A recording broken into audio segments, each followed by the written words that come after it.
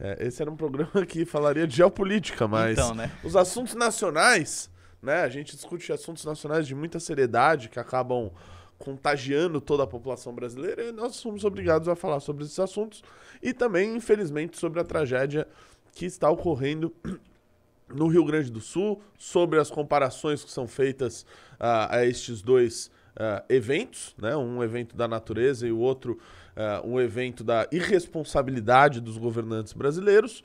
E muito está sendo falado sobre isso, sobre o quanto foi gasto no show da Madonna, eh, pela lógica ah, econômica que isso poderia trazer um retorno, pela lógica da moralidade de se usar o dinheiro, o recurso público para se fazer um show onde algumas coisas não recomendáveis para menores de 18 anos acabam ocorrendo em pleno palco na praia de Copacabana.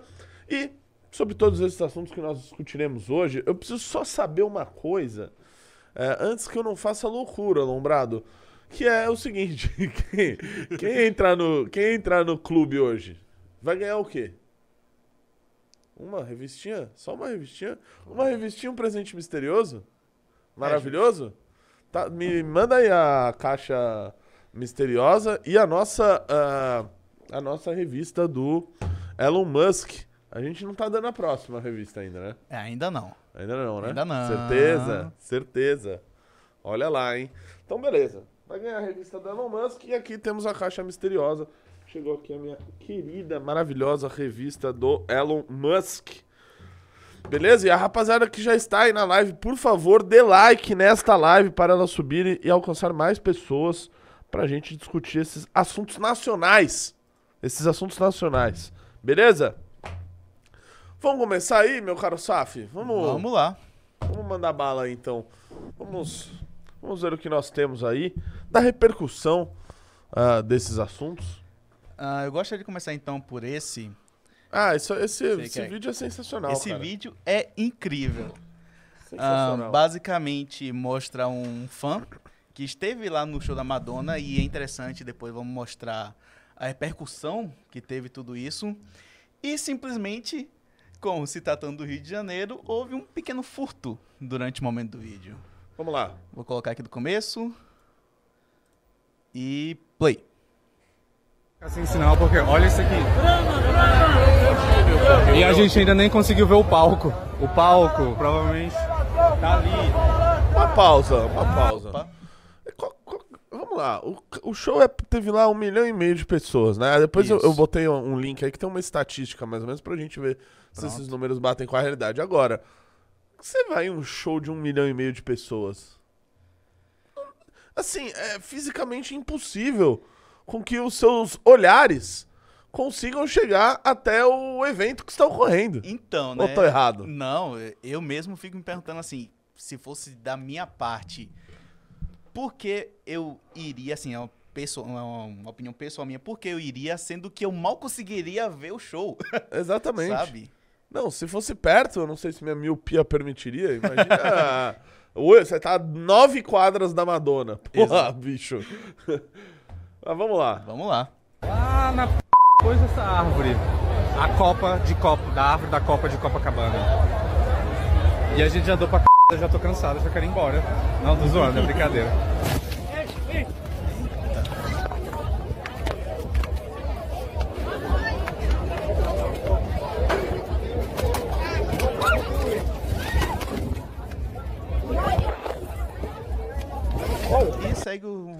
Cara, não, não, mas vídeo. veja o finalzinho, olha só. Finalzinho, Beleza. Nossa! Parece que o cara ainda chegou a, A ser pego. a, a reaver o, o, o aparelho dele. Mas Nossa, você era- vê, o meu caro, meu caro Saf, né? A gente. é, eu- tem, tem muitos vídeos, né? E obviamente a gente não esperava nada diferente vindo do Rio de Janeiro, né? De um evento. Aliás, não só do Rio de Janeiro, né? Um evento dessa magnitude. é, em qualquer lugar do Brasil, mas claro, mais especificamente no Rio de Janeiro, obviamente a gente ia ver essa horda de ataques eh, e de assaltos, furtos e tudo mais ocorrendo. E é o que leva à discussão de verdade, né, sobre tudo isso daí. Se um estado, uma, uma cidade que está basicamente largada ao narcotráfico, largada ao crime organizado. Um Estado que se tornou, sim, um narco-Estado, pois é dominado pelo crime organizado, pelas milícias, por tudo que não presta, toma conta do Rio de Janeiro. Se um, se um Estado, se uma cidade como essa, ela tem como prioridade realizar o show da Madonna, né? É, é, gastar milhões de reais para fazer esse tipo de investimento. Ou, aliás, vamos lá, se a gente for olhar pela única exclusivamente pela lógica economicista, de olha, é, o show da Madonna, é, ele foi investido lá 20 milhões de reais, 10 da prefeitura, 10 do governo do estado, quem pagou o cachê dela foi o Itaú e tudo mais. Isso, no final das contas, vai fazer com que o Rio de Janeiro tenha um retorno de X. Aí o Eduardo Paes, ele basicamente, ele foi um dia no banheiro, ele tava lá lendo um belo jornal, né? Não era a revista Valete. Entrou no nosso primeiro clube, seja bem-vindo aí. Não vi o nome da pessoa do Felizardo, mas já vamos ver o que ele vai ganhar. Vamos lá. Eu tô meio. Eu fico meio craque neto, às vezes, fazendo o programa sozinho, que eu. né? E aí o Eduardo, Eduardo Paes, ele tava lá no banheiro dele, né? E fazendo um belo de um tolete. E aí ele falou o seguinte: já sei, o show da Madonna trará de recursos uh, uh, de dinheiro circulante para a cidade do, do, Rio de Janeiro 300 milhões. E aí, esse valor de 300 milhões, ele é. Ele é, é, é, falam desse valor, né? A, a, a, usam esse valor ao seu bel prazer, como se fosse um dado da realidade. E aí eu fui, tentei fazer algumas estimativas para saber se a gente estava falando uh, de um dado que era sério, né? Da onde que veio essas estimativas. E aí descobrimos que a prefeitura do Rio, ela não tem nenhum estudo publicado falando sobre uh, o investimento desse show, o, o retorno financeiro desse show. Tem gente falando no Twitter, olha, mas veja bem, o Rio de Janeiro está com 95% dos hotéis, uh, dos, da ocupação dos hotéis. Aí eu falei com um amigo meu que é, já foi secretário de turismo no Rio de Janeiro, vocês devem conhecê-lo. Conhece, Saf? Cristiano Beraldo, nunca vou falar? Ah, conheço, claro que conheço. Falei, Cristiano Beraldo, qual que é a média de ocupação dos hotéis no Rio de Janeiro no final de semana? 75%. Em média. Em média. Nossa. Ou seja, a pessoa ela traz esse dado pro, pro, pro Twitter como se fosse os hotéis do Rio de Janeiro não tivessem ninguém indo lá no final de semana. E aí, do nada, pá, Madonna, 96%. Isso é mentira. Isso é mentira. Então, da, da, da onde que gira esses 300, esses 300 milhões? Né? A gente pode questionar esse número. Mas o ponto é que, sequer, essa é a discussão mais importante a se fazer. A discussão mais importante a se fazer é de que o Rio de Janeiro é um estado que está devastado. É um estado que está tomado pela criminalidade por tudo que não presta. E a grande discussão, o grande investimento público que a prefeitura consegue fazer é para realizar um show que obviamente vai levar, né, levou centenas de milhares de pessoas às ruas, né, para esse show, para ser utilizado como uma ferramenta eleitoral. Então veja só, o prefeito do Rio de Janeiro, que aliás utilizou esse show, utilizou esse show uh, uh, aliás, utilizou os direitos de transmissão desse show, entregou esse dinheiro para a Rede Globo, que só em cota de anunciante ganhou 100 milhões de reais. Ou seja, não teve nenhuma concorrência. Se você tiver algum, se tivesse algum outro interessado no Brasil para ter os direitos de transmissão desse show, não podia. Por quê? Porque está na mão da Rede Globo. Foi entregue para a Rede Globo. Isso ninguém está questionando. Isso ninguém está questionando. Isso, isso que é o curioso de toda essa, essa, essa discussão. E eu quero perguntar às pessoas que estão me assistindo aqui, meu caro Saf, se você puder fazer uma enquete que de, perguntará exatamente o seguinte. Vamos lá. Show da Madonna, dois pontos. A primeira opção é: foi um bom investimento, era tudo que o Rio de Janeiro precisava.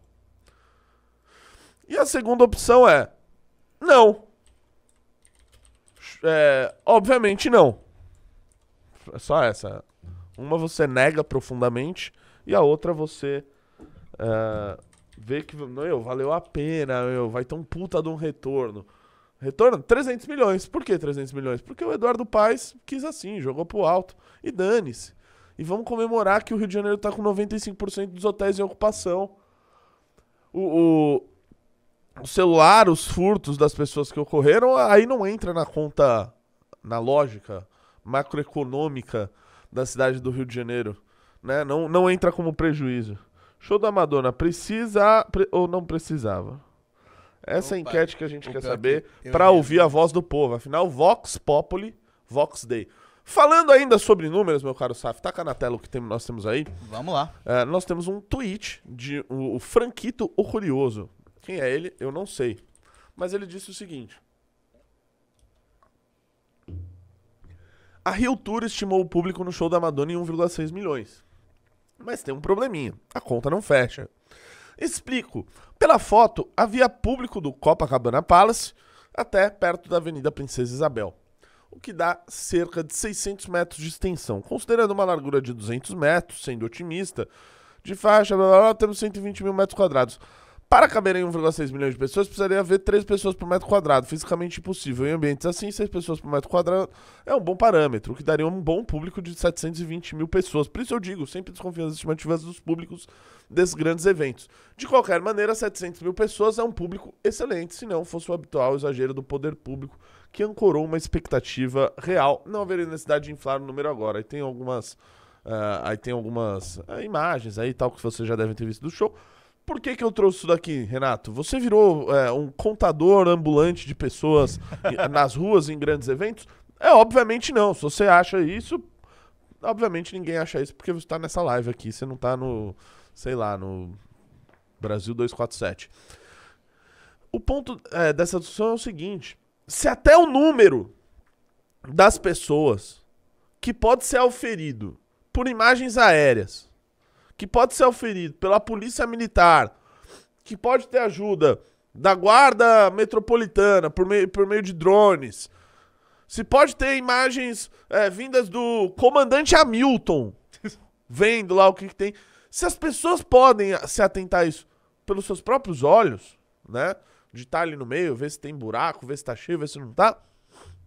E mesmo assim, se mesmo isso, que, que tem todas essas possibilidades de ser contestado um número, a prefeitura basicamente pegou um número de 700 milhões, de 700 mil, que seria o da realidade, e transformou em 1,6 bilhões, ou seja, é, utilizou um número que na verdade é 35% real. O que eles não fizeram com esse valor de supostamente 300 milhões que, que trouxe de retorno para a cidade do Rio de Janeiro?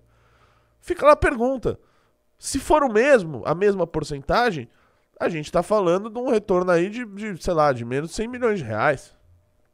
É a conta que dá pra, dá pra se fazer, é, é, uma conta de padeiro aqui so- sobre isso. Ou seja, dá, dá para acreditar? Dá pra acreditar? E mais, né, é, a gente vê é, que toda a estrutura de segurança do Rio de Janeiro, toda a estrutura, eu vou pedir pra você colocar, antes desse vídeo aí, meu caro Saf, ah, o tweet da Marinha. Tweet da nossa Marinha. Eu acho que eu te mandei, se eu não te mandei, tem no meu Twitter. Deixa eu ver aqui. É, porque esse show, a gente não. A gente nunca pode levar a política. Co- Como é que tá a enquete? A enquete tá 90% não precisava. Exatamente. É, a gente não pode levar a política como se fosse um jogo único exclusivamente econômico, onde eu conto A mais B igual a C, né? Por mais que eu esteja duvidando dos números que foram colocados aqui, né? Como a gente já discutiu até agora.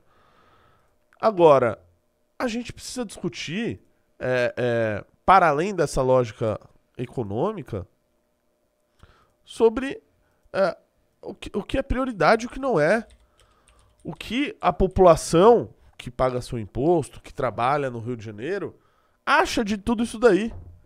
É claro que essas pessoas que foram ao show não tem nada a ver com isso, foram lá, se divertiram e tudo mais. Agora, é esse o tipo de recado que a gente passa para os outros, né? Pa- Para, para nós como povo, como sociedade, do que a gente deveria estar priorizando em um momento como esse que a gente está vivendo? Porque vejam só, um show desses, Não basta só a estrutura, a polícia militar ali e tal, a ponte pra Madonna sair do Copacabana Palace até a areia ah, lá em Ipanema, sei lá na onde. Não, não é só isso. Vejam só esse tweet aqui. A Marinha do Brasil, ela tweetou o seguinte, abaixa aí. Ontem, a Marinha do Brasil mobilizou militares em embarcações para garantir a segurança da navegação, a salvaguarda da vida humana no mar e a prevenção à poluição hídrica durante o show da Madonna em Copacabana. Ou seja, nós tínhamos, durante o show da Madonna, embarcações e militares da Marinha ali cuidando da, né, fazendo a segurança, né, tomando conta ali da poluição hídrica. Enquanto isso, enquanto isso, no Rio Grande do Sul, as pessoas estão morrendo afogadas. Afogadas. Né? Os, os relatos do que a gente vê ocorrendo no Rio Grande do Sul, assim, é de partir o coração de qualquer pessoa que tem um mínimo de, de, de, de- coração, né? De, de, de, é, de- de sensibilidade. De sensibilidade. A gente vai discutir aqui, dentre outros, outros subtemas, dentro desses grandes temas, ah, a proibição, por exemplo, que está sendo feita em alguns algumas cidades pelas autoridades, de pessoas, de voluntários, irem com suas embarcações, irem com seus jet skis, barcos, etc., tentar ajudar no resgate.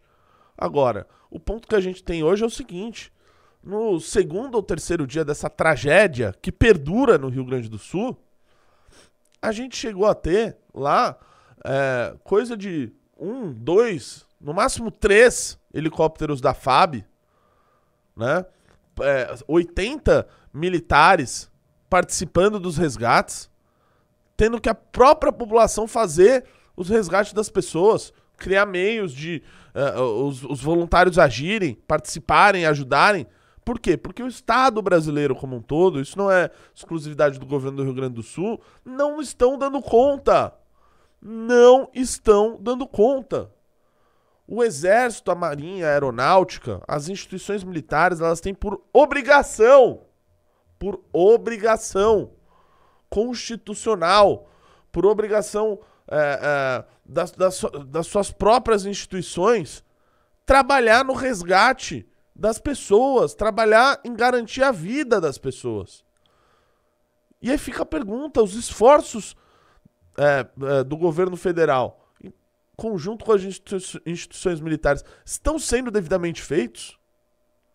Ou então nós temos, assim, é, é, uma frota gigantesca de embarcações marinhas, da, da Marinha, para estar fazendo segurança. É, é, para estar fazendo segurança no show da Madonna. É isso? É isso? Então, desculpe, talvez eu, eu esteja errado na minha crítica, a gente esteja vivendo aqui né, nos Estados Unidos. A gente tenha militares, embarcações, tudo suficiente para fazer qualquer tipo de. para fazer vários grandes eventos no mesmo dia. Né? Não é o que me parece. Não é o que me parece. Já está sendo discutido no Rio Grande do Sul, né? A gente vai falar disso daqui, né? Parece que o, o governador está muito preocupado com o nome do, do, do programa, que vai ser o de reconstrução do Rio de Janeiro. Antes de pensar nessa reconstrução, que ela vai ter que ser feita, é preciso salvar as pessoas. É preciso salvar as pessoas. As pessoas não querem sair das suas casas.